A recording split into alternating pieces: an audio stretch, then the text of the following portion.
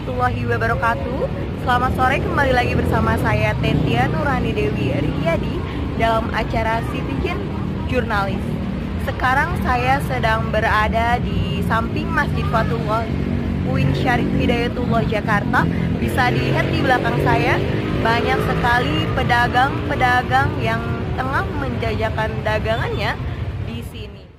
Di samping Masjid Fatullah UIN Syarif Hidayatullah Jakarta ini menjadi tempat favorit para mahasiswa untuk mencari makanan dan jajanan-jajanan yang akan mereka beli.